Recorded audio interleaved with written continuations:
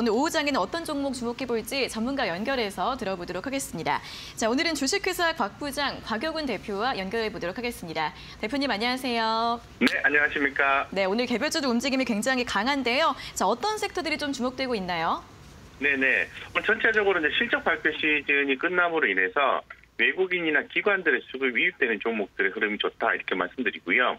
현재까지 뭐 키오스크 관련된 종목, 최근에 그 미 연준의 금융 리스크에 대한 대안으로 CBDC가 제시가 되고 있죠. 그리고 또 로봇 관련된 종목, 2차 전지, 리비안의 상승에 따른 테슬라의 상승에 따른 뭐 전기차 관련된 종목들이 움직임이 있습니다.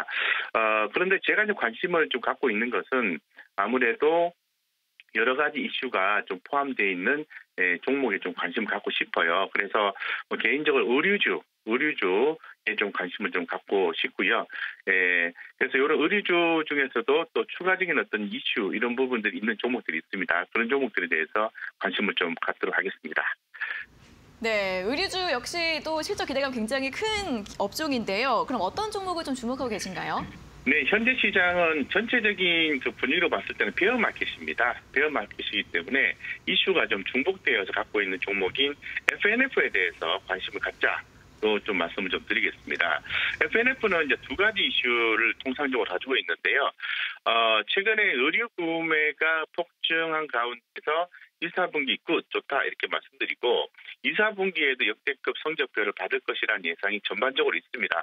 뭐 의류 관련된 종목 같은 경우에는 이제 FNF, 뭐 더네이처 홀딩스, 브랜드 엑스코퍼레이션, 어, 영업무역 이런 것들이 있죠. 이 중에서 이 중에서 어, 돌아오는 6월 9일에 지수 변경일, 즉 그 정기 변경 지수 정기 변경 발표가 있습니다. 그래서 코스피 200 지수에 편입이 될 가능성이 높은 어, 종목인 여러 개의 종목 중에서 FNF가 포함이 되어 있습니다. 그래서 이 두 가지 이슈가 좀 맞물려 있는 FNF에 대해서 관심을 갖자고 좀 말씀을 드리고요.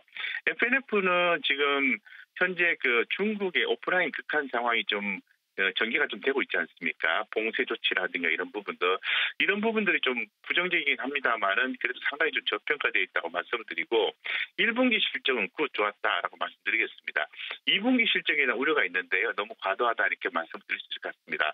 어, 차트적 관점에서 보면은 현재 흐름 좀 약합니다. 어, 차트는 좀 흐름이 약하지만은 어, 조금 더 지금 하방을 좀 확보할 수 있는 분위기가 나와주고 있는 것이 아닌가 이렇게 개인적으로 생각하고 있고요.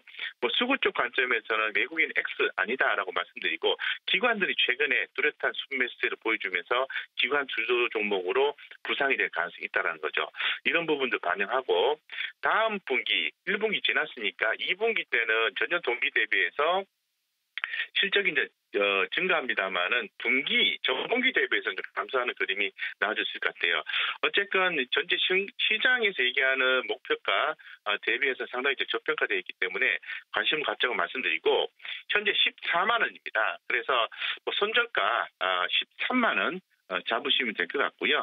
목표는 중장기로 길게 끌고 가시는 분들은 21만 어, 원까지 range 상단을 잡으시고 어, 뭐 매매든 그 분할 매수, 분할 매도 전략이든 대응하시면은 뭐 지금 최악이었던 상황에서 가격이 너무 싼 FNF가 또 상당히 매력적이지 않겠나 생각이 듭니다.